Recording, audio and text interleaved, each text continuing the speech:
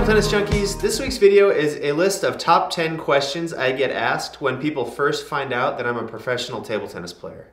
Just a quick disclaimer, I find a lot of these questions pretty humorous and I'm not trying to be arrogant or demeaning in any way. I just get asked these all the time, so I thought it would be fun to put, it, put together a quick video to just kind of answer them all. If you're a part of the table tennis community, I'm sure you can relate. Anyway, let's get going. Question number 10, can I beat Forrest Gump?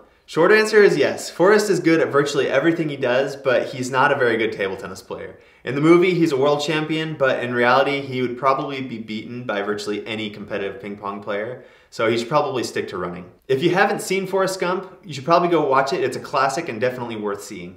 Question number nine, do I play really far back from the table? My style is actually to play kind of mid-distance or close to the table. A lot of defensive players can play like 20 to 30 feet back, but for me, I'm generally trying to aim between 3 and 10 feet from the table because I'm a really aggressive player. Question number 8, can I beat the Chinese? Well, China has a lot of people and a lot of players. I can probably beat about 99.9% of them, but their top players are the best in the world and they would kick my trash. The closest I came to beating a top Chinese player was in the 2007 World Junior Championships. I was playing the number two junior in the world from China, and I was up 6-2 in the final game and I ended up losing my focus and blowing the match and it still kind of stings to this day and I regret some of the decisions I made to, to lose that match. Question number seven, is table tennis in the Olympics? Table tennis became an Olympic sport in 1988 and it's been in the Olympics ever since. A lot of people don't know this, but the International Olympic Committee actually limits the number of sports allowed in the Olympics. So the Summer Olympics in 2016 had 28 Olympic sports and table tennis was one of them. Question number six, is it ping pong or table tennis? I get this question a lot and essentially it's the exact same thing. Ping pong was trademarked by the Parker Brothers board game company in 1948 and table tennis is the official name of the sport. Think like Kleenex and tissue or Q-tip, cotton swab. Table tennis, ping pong. I've heard that people might get offended if you call it ping pong instead of table tennis. I've never actually met anyone who got offended by calling it ping pong. In fact, I call it ping pong and I play it all the time and I've done it professionally and I coach it professionally.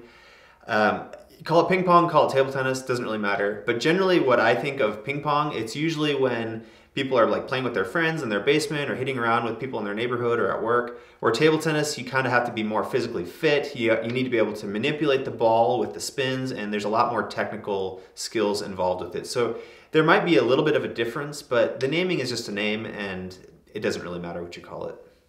Question five, should you smash the like button? Yes, you should smash the like button. Seriously though, hit the like button. It helps me out, helps my channel out. If you know anybody who might like this video, maybe somebody who has been asked these questions, or maybe there's somebody who's asked you one of these questions, share it with them because you might get a good laugh out of it and it'd be fun. Question four, how much is the equipment that I use and where do I buy it from? Well, the racket rubber combination that I use is from Butterfly. They're pricier than most of the other brands, and the, the setup I have costs around $450, which is probably on the high end. It's not the highest you can go, but it's certainly more expensive than most equipment. Um, Butterfly doesn't pay me or sponsor me in any way to make these videos, but I do believe that they make the best equipment for rackets and rubbers. Um, other good equipment companies are Donic or Nittaku or Stiga. And you can buy them from Butterfly Online or Paddle Palace or Dandoy or Table Tennis 11 or there's a bunch of websites out there. What I don't recommend if you're trying to get into table tennis is buying equipment from Walmart or Dick's Sporting Goods or other sporting goods stores because the quality is just going to be pretty bad from those stores. Even if you buy like Butterfly or Stiga, it might be branded by them, but it's going to be bottom of the barrel stuff and really not very good.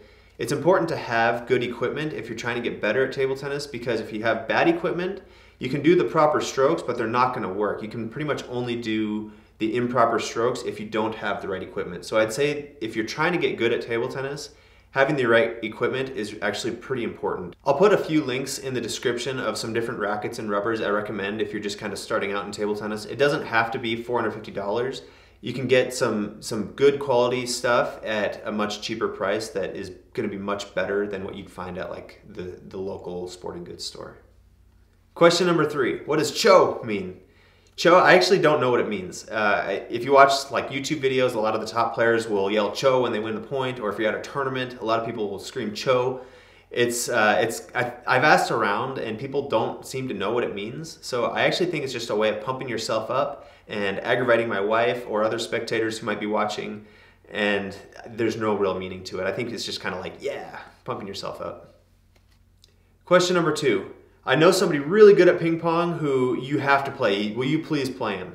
I get asked this all the time. And actually, as I was preparing for this video, a door-to-door salesman came by, rang the doorbell, and we were actually talking about table tennis for some reason. And he has a friend who is really good, and I have to play him apparently. So just to kind of compare, like, I don't want to sound arrogant, but it really wouldn't be any competition. And to kind of show an analogy is imagine if you have a friend who is really good at basketball. He shoots hoops all the time in his backyard. He can beat all his friends in horse and then putting him one on one against somebody in, in the NBA.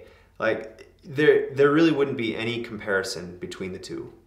It's really like that for any professional athlete for any sport. And there's a level that's just kind of above what most people can kind of understand or comprehend. And that professional athlete is going to beat that non professional athlete pretty handily.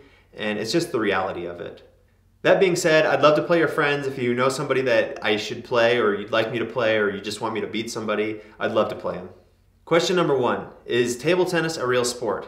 The word sport is pretty arbitrary now with like video games being considered sports. Like, I mean, come on, like whatever. Um, but anyway, table tennis, it's very physical. You have to be in really good shape uh, to compete at the top levels. You have to be extremely technical. You have to have really good reflexes, and I would consider it a sport. The last one is a bonus one. How did I get started in table tennis? I got started when my dad got a table for his birthday when I was five years old. I started playing with my family and I joined a team when I was six and I actually started competing nationally when I was six years old. So then that's how I got started. That's all for this week's video. Let me know what questions you get asked all the time. I'd love to hear them in the comments. And if you like this video, then give it a thumbs up, share it with your friends, and subscribe for more content. And as always, I'll see you next week. Thanks.